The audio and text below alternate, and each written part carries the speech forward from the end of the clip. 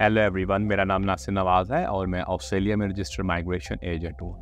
आज की बात स्टूडेंट्स के हवाले से और ये वो बात है कि बड़ी कोई इंपॉर्टेंट बात, एक इंपॉर्टेंट पर्सनैलिटी ने की स्पेशली पोस्ट ग्रेजुएट वीज़ा के हवाले से और ये लिंक्ड है माइग्रेशन स्ट्रेटजी के साथ और पोस्ट स्टडी वीज़ा जो कि टी जी वी बी कहलाता है और सब क्लास फोर एट फाइव के हवाले से।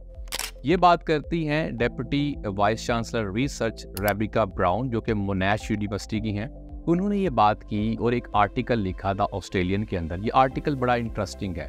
उन्होंने ये कहा कि ग्लोबल टैलेंट रैंकिंग के अंदर ऑस्ट्रेलिया की जो यूनिवर्सिटी थी ना, वो भाई अब अठारहवें नंबर पे आ गई हैं आउट ऑफ़ 64 कंट्रीज़ अब हुआ क्या? कि ये 2007 के अंदर तकरीबन नामे नंबर पे थे हम हमारी यूनिवर्सिटीज़ लेकिन अब इसको इन्होंने उड़ा के रख दिया है। किस वजह से? ये माइग्रेशन स्ट्रेटजी के साथ जाके इसको लिंक कर दिया इन्होंने कहा डिस्पाइट द फैक्ट हमारी जो यूनिवर्सिटीज़ हैं हंड्रेड ग्लोबली रिकग्नाइज या प्रेस्टिजियस यूनिवर्सिटीज़ में से छः यूनिवर्सिटीज़ ऑस्ट्रेलिया की उनमें शामिल हैं।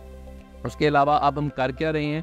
हम बैकवर्ड जा रहे हैं इंस्टेड ऑफ़ आगे जाने के कि जो माइग्रेशन स्ट्रैटेजी से ऐसे हो रहा है। इन्होंने इसको लिंक किया, ये कहा कि जो माइग्रेशन स्ट्रैटेजी है, जो दिसंबर के अंदर इंट्रोड्यूस करवाई लेबर गवर्नमेंट ने, उसके अंदर हम इनोवेटर रिसर्चर या जो पीएचडी स्कॉलर्स हैं, उनको हम खो देंगे और हम उस रेस से बहुत पीछे रह जाएँगे कि पूरी दुनिया अभी टैलेंट हंटिंग के पीछे है और हम लोगों जो है, बजाय इसके कि हम इनको कोई रिलैक्सेशन दे सकें, कोई फ्लेक्सिबिलिटी दे सकें।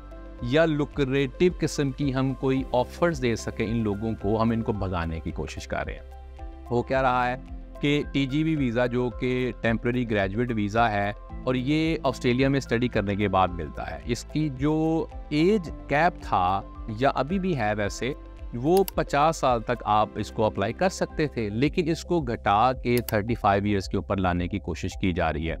इन्होंने ये कहा रेबिका ब्राउन ने कहा कि भाई देखें वो लोग जो कि पोस्ट ग्रेजुएट करने के लिए आते हैं या पीएचडी करने के लिए आते हैं, ये वो लोग होते हैं जो कि पहले बैचलर्स करते हैं। बैचलर्स करने के बाद ऑब्वियसली ये नेचुरली ये इस तरह करते हैं कि ये प्रोफेशनल लाइफ में चले जाते हैं, अपनी लाइफ को थोड़ा स्टेबल करते हैं, उसके बाद एज अ रिसर्चर या उसके बाद एज अ इनोवेटर ही काम करना स्टार्ट कर देते हैं, क्योंकि इनको लाइफ में स्टेबिलिटी भी उस हिसाब से चाहिए होती है। उस दौरान क्या होगा, इनकी एज ज़्यादा हो गई होती है। अगर ये आते हैं पीएचडी करने के लिए तो अगर इनको ये पता है कि 35 के बाद भाई ये टीजीवी या जो इनको वर्क राइट्स नहीं मिलेंगे, इनको वापस ही जाना होगा तो ऑस्ट्रेलिया में क्यों आएँगे? बात भी इनकी ठीक है। उन्होंने कहा, अगर हम इसी तरह चलते रहे तो हम बहुत सारे रिसर्चर्स खो देंगे और हम वो मौका खो देंगे कि किसी दौर में कभी आईवीएफ के ऊपर ऑस्ट्रेलिया ने बड़ा काम किया हुआ है एमआरएनए के ऊपर इन्होंने बहुत ज़्यादा काम किया हुआ है। तो इस तरह हम इसी तरह की इनोवेशन या इस तरह की डेवलपमेंट्स टेक्नोलॉजी के अंदर या दूसरी फील्ड्स के अंदर हम नहीं कर पाएँगे। ये वो लोग हैं जो कि बहुत ज़्यादा कंट्रीब्यूट करते हैं। इसी तरह स्टूडेंट्स के हवाले से उन्होंने कहा कि 2023 के अगर नंबर्स उठा के देखा जाए तो इकॉनमी के अंदर 34 बिलियन डॉलर जो है इन्होंने ऐड किया है। तो इनको हम कभी भी इग्नोर नहीं कर सकते। तो इसलिए जो है नज़र षानी करना होगी गवर्नमेंट को इस हवाले से कि भाई ये जो पोस्ट ग्रेजुएट वाले हैं या पीएचडी वाले हैं, इनके टीजीवी के ऊपर क्या करना है? मैं पहले भी इसके ऊपर बात कर चुका हूँ कि इस पे अबुल रिजवी जो कि फॉरवर्ड एम्प्लाई हैं इमिग्रेशन डिपार्टमेंट से, वो गाय बगाए कमेंटिंग करते रहते हैं। उन्होंने भी ये बात की कि उन्होंने ये नुक्ता उठाया था कि भाई देखें ये वो लोग हैं पीएचडी वाले कि उनकी उम्र अगर ज़्यादा हो जाएगी तो इससे ऑस्ट्रेलिया में आने के हवाले से ऑफ़र्स के हवाले से इम्पैक्ट होगा नेगेटिवली वो लोग क्यों आएँगे? देखिए, इस टाइम क्या हो रहा है? पूरी दुनिया के अंदर टैलेंट हंटिंग होती है। ये बात तो आपको देखनी ही होगी। यूएसए लोग जाते हैं कनाडा जाते हैं यूके जाते हैं ऑस्ट्रेलिया में आते हैं। देखा यह गया कि इसलिए इन लोग, इन मुल्कों को प्रेफर किया जाता है। एक तो इंग्लिश स्पीकिंग कंट्रीज़ हैं।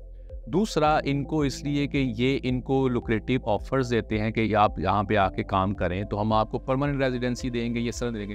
तो ऑस्ट्रेलिया क्या कर रहा है? ऑस्ट्रेलिया अपने खिड़कियाँ दरवाजे बंद करके अंदर से गली लगा रहे हैं भाई आपने नहीं आना। और उसके बाद ये क्या करेंगे? बाद में चीखें मानेंगे भाई, इधर तो भी कोई आ नहीं रहा। तो अभी से ये नुकते उठने शुरू हो गए हैं। स्टूडेंट्स को ये बात समझनी चाहिए कि आपके लिए कोई एडवोकेसी कर रहा है और ये मीडिया के ऊपर बातें भी आ रही हैं। मजीद उन्होंने ये कहा कि ये बड़ा अच्छी बात थी कि भाई पीएचडी के हवाले से इन्होंने चार से बढ़ा के तकरीबन छः साल का टीजीवी कर दिया था। मास्टर्स अगर आपको पता हो तो पहले दो साल का टीजीवी हुआ करता था, फिर उन्होंने तीन साल का कर दिया और उसके बाद सेलेक्टेड स्टडीज़ के ऊपर पाँच साल का टी यानी कि फोर एट फाइव कर दिया।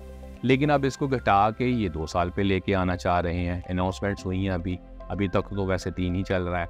इसी तरह बैचलर्स की सिलेक्टिव स्टडी के ऊपर भी इन्होंने चार की बजाय दो की करने की कोशिश कर रहे हैं। तो अगर समझा ये जाए तो इसलिए पोस्ट ग्रेजुएट की ज़्यादा बात हो रही है, जो कि मास्टर्स रिसर्च वाले हैं या पीएचडी वाले हैं, कि 35 वाली एज कैप के ऊपर ज़्यादा वो इम्पैक्ट हो सकते हैं। बैचलर्स वाला और डिप्लोमा वाला तो तरह इम्पैक्ट नहीं होगा, क्योंकि ये आमतौर पर आते हैं इक्कीस बाईस तेईस साल की उम्र में तो बहुत आगे दस बारह चौदह साल पड़े हैं, पैंतीस साल होने के लिए तो आप तो आराम से आपको इस हवाले से आपको ये चीज़ इम्पैक्ट नहीं करती। ज़्यादा इम्पैक्ट कर रही है मास्टर्स वालों को।